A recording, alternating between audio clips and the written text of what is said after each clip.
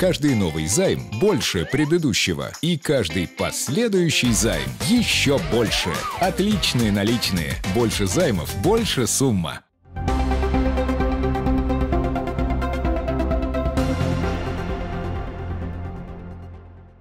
В России 15 февраля отмечается День памяти воинов-интернационалистов. Памятная дата приурочена к окончанию вывода советских войск из Афганистана в 1989 году. Уже 29-е. Время быстротечно и немало воды утекло за эти годы в реке Амудария по мосту, через которую выводил войска на советскую территорию командующий 40-й армией генерал Борис Громов. Ветераны той войны сегодня живут каждой своей жизнью. Кто-то решил, что больше не свяжет жизнь с военным делом, а кто-то, наоборот, продолжил службу. Так и Александр Федосов уехал служить в Афганистан в 1988 году. Генерал наш, командующий пограничными войсками, главный командир генерал армии матросов в свое время сказал, что каждый пограничник, офицер имеется в виду, должен пройти через Афганистан, то есть получить боевой опыт. Вот. И, в общем-то, мы даже сами стремились, потому что э, из ряда обстоятельств получилось так, что я после училища писал рапорт. Вот. Но как бы командование посчитало, что выполнять надо было задачи в другом месте. Поэтому выполнял задачи в другом месте. Ну вот как бы тут получилось так, что один из командиров частей, который переводился с Дальнего Востока, он мне предложил, поедешь со мной? Я говорю, конечно, поеду. И таким вот образом оказался в Термезе. Молодой пограничник участвовал в боевых действиях в составе мотоманевренной группы. Основная задача бойцов – охранять границу, что, в принципе, мы и должны делать в обычной жизни. Только разница в другом. Там шла война, умирали люди, вспоминает Александр Федосов. Чувство самосохранения у каждого человека есть. Главное, наверное, научиться преодолевать страх, преодолевать э, боязнь, чувствовать локоть товарища, зная, что не подведет никогда тебя в любой обстановке. Поэтому и она преодолевалась гораздо проще, чем вот, э, ну, я не знаю, я сравнивать, могу сравнить, допустим, с Чечней. Э, я уже по опыту именно Афганистана, в Чечне, когда тоже мангруппу водил, как бы вот воспитывал людей именно в том плане, из опыта, который получил в Афганистане. Поэтому, конечно, привыкнуть к этому нельзя. Но самое, наверное, что, как это правильно сказать, слово подобрать, страшное заключается в том, что когда оттуда уходишь, тебя обратно начинает тянуть туда. События нередко принимали драматический оборот. Подразделению было поручено переправить раненого главаря Маджахеда в больницу в Душанбе. На первый взгляд мирная операция. Сам раненый тоже был готов к транспортировке. Но все пошло не по плану. Но вся беда в том, что у него банда раскололась на два лагеря. Те, кто были согласны, чтобы он уехал, и те, кто не был согласен.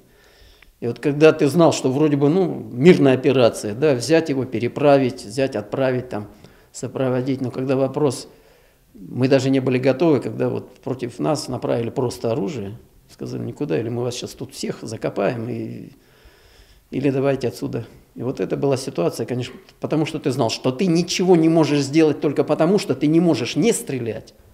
И ты должен выполнить задачу, привести. То есть вариантов не было. Однако такого напряжения не все выдержали. Многие увольнялись и уезжали домой. Я всю жизнь себя готовил к тому, что я военный человек. И туда, куда Родина скажет, там и нужно находиться. И как бы все бросить, уехать, такого не было как бы трудно не было, какие бы трудные ситуации не были, не было. Ну, я знаю, что у меня офицеры были такие, которые после того, как буквально сразу же писали рапорта, уходили, увольнялись. С выводом войск из Афганистана война для пограничников не закончилась. Александру Федосову после не раз приходилось возвращаться в эту страну. Далее конфликт в Ташкенте и Чеченская война. Несмотря на то, что пережито за годы боевых действий, Александр Федосов уверен, что это был его долг перед Родиной.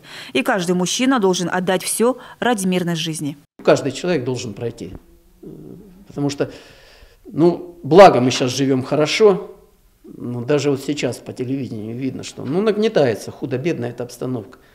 И чтобы, я считаю, что каждый мужчина должен быть, уметь владеть оружием, чтобы потом защитить даже свою семью. Как отмечает Александр Федосов, всех боевых товарищей с афганской войны разбросало по разным городам страны. И ежегодно, 15 февраля, он связывается с ними через социальные сети. Потому как такое забыть невозможно. Десять лет, с 1979 по 1989 год, длилась та война. Более 15 тысяч жизней советских солдат она унесла. Это только безвозвратные потери. А было еще около 54 тысяч раненых. Накануне в Доме правительства Тувы состоялась торжественная церемония вручения государственных наград, посвященной празднованию Шага. С предстоящим праздником всех присутствующих поздравил глава региона Шалбан Караул. Праздника, прежде всего, знаменующего наступление Нового года по восточному лунному календарю, в нашей республике он давно уже стал интернациональным, объединяющим разные народы и культуры Тувы – Заложенные в ней вековые традиции тувинского народа близки и понятны каждому жителю республики. Они символизируют собой единение и гармонию человека силами вечно обновляющейся природы, торжество и победу света над тьмой. Почетными грамотами правительства Тувы были удостоены главы крестьянско-фермерских хозяйств Пихемского, Дзунхемческого, Кахемского и других районов.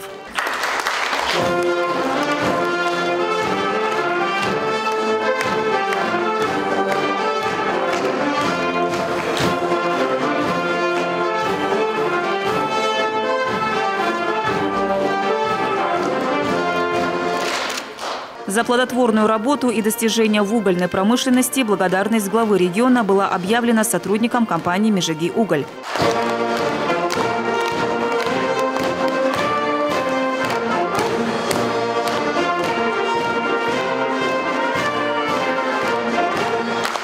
Также на торжественном собрании почетными грамотами за плодотворный и добросовестный труд были отмечены работники сферы образования, здравоохранения и ветеринарии республики. За заслуги в области культуры и искусства почетное звание «Заслуженный работник Республики Тыва» было присуждено ветерану труда Зои Мангуш. Спасибо всем-всем-всем, кто семит и поддерживает работу библиотеки.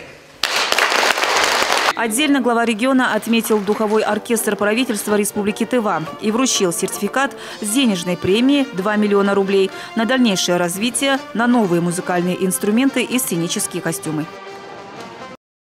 13 февраля состоялось заседание комиссии по чрезвычайным ситуациям и пожарной безопасности для обсуждения и планирования противопаводковых и противопожарных мероприятий. По словам руководителя Тувинского гидрометцентра, снежный покров по республике ниже средних многолетних значений. Уже отмечается раннее таяние снега в западных районах. Снегозапасы выше нормы отмечаются только в Терехольском районе. Председателям и руководителям органов местного самоуправления и органов исполнительной власти Тувы рекомендовано предоставить предоставить информацию об исполнении плана ежегодных мероприятий по подготовке к безаварийному пропуску весеннего половодья и паводка на территории региона. Особое значение уделено своевременному информированию населения. Необходимо заблаговременно привести в готовность силы и средства, привлекаемые на ликвидацию возможных ЧС, связанных с паводком. По прогнозу Госкомлеса Тувы, пожароопасный период в нынешнем году может начаться раньше в западных районах в связи с малым количеством снега и потеплением наружного воздуха.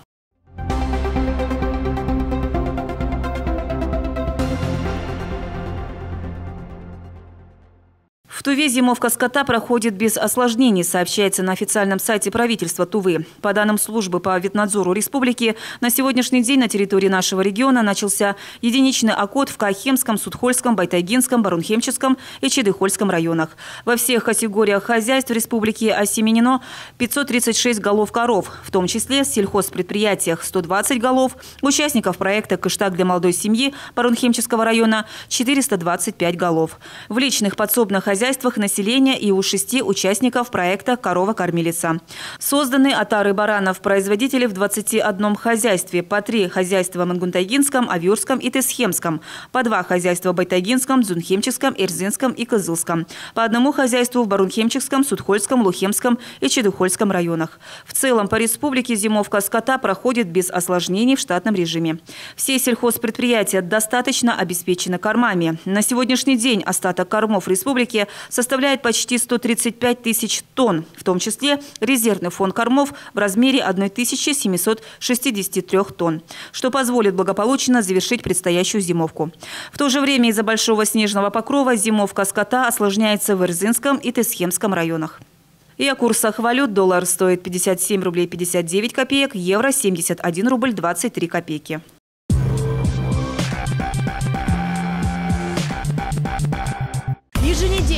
Тува ТВ и такси «Апельсин» объявляют новый фотоконкурс. Такси заказывали? Прими участие. Закажи такси «Апельсин», сделай оригинальное фото, в кадр которого попадет автомобиль и логотип «Апельсина». Придумай креативную или забавную подпись и получи возможность выиграть главный приз – 5000 рублей на поездки. Мы ждем ваши фотографии на электронную почту nvec17 собакамайл.ру. Срок приема фотографий с 31 января по 21 марта 2018 года.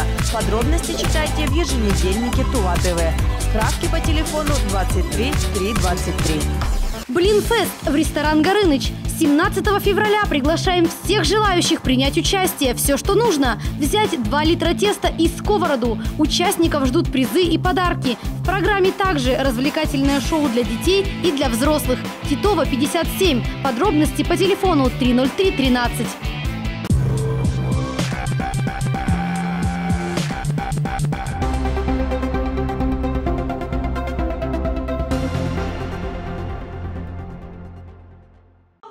Сегодня в 19-м детском саду Кызыла прошло празднование национального праздника Шага. Первым делом воспитатели рассказали о традициях Нового года по лунному календарю.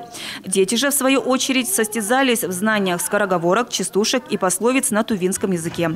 По словам воспитателей, все познавательные и развлекательные мероприятия направлены на то, чтобы детям было комфортно и интересно знакомиться и изучать тувинскую культуру. Воспитанники порадовали пришедших мам и пап подготовленными творческими номерами. Зажигательный танец Щелерой также неотъемлемая часть национального праздника. Завершилось праздничное мероприятие песней «Шага» в исполнении «Дошколят».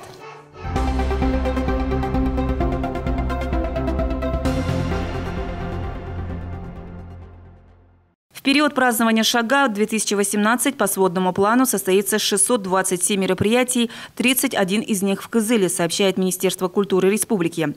В преддверии Шага Центром тувинской культуры, Театром кукол, Национальным музеем проводились культурно-образовательные мероприятия для учащихся школ республики по заявкам.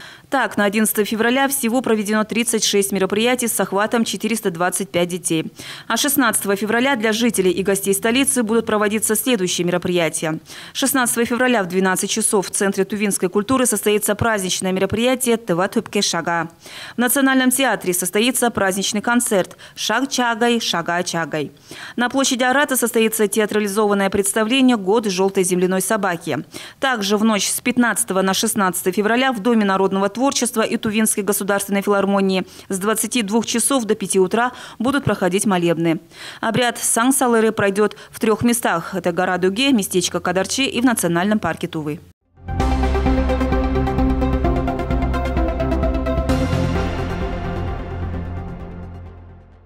Радиостанция «Голос Азии» запустила новый сезон радиоквеста «Замес майонез». Теперь участники квеста будут сражаться в смекалке за подарки от магазина «Химтоп» на Юнокурседе 103 дроп 1.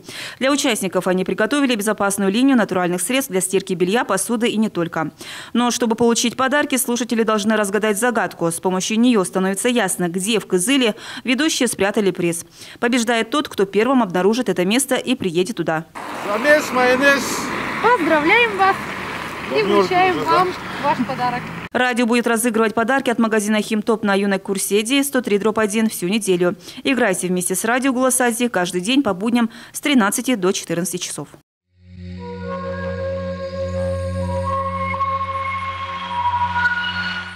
Дорогие земляки, примите самое искреннее поздравление с древним и светлым праздником Шага, с наступлением Нового года по лунному календарю. Эта наша традиция корнями уходит вглубь веков, культурным и историческим истокам тувинского народа. Однако и в наши дни, сохранив яркую самобытность и национальный колорит, Шага превратился в событие интернациональное, красивый и добрый обычай, сплачивающий всех нас, проживающих здесь, в Туве, помогающий им понимать друг друга и бережно хранить дружбу и согласие. И это вполне естественно. В культуре любого народа Новый год всегда символизировал обновление природы, а с ней и человека. Поэтому смыслы, заложенные в шага, тоже понятны и близки каждому народу, независимо от национальности, веры, гражданства, возраста и иных различий. Любить Родину, чтить старших, беречь семью, сохранить чистоту помыслов, творить добро, быть честным во всем – это те общие для всех народов нравственные основы, на которых держится и держался мир, которые остаются неизменно от шага к шага, из века в век. Пусть наступивший год желтой земляной собаки будет лучше, чем год ушедший, позволит нам всем добиться самых высоких целей, реализовать самые смелые замыслы и осуществить то, о чем мечталось тепла, уюта и понимания в ваших домах и семьях. Мира и благоденствия вам, дорогие земляки! С праздником! Шагабеле!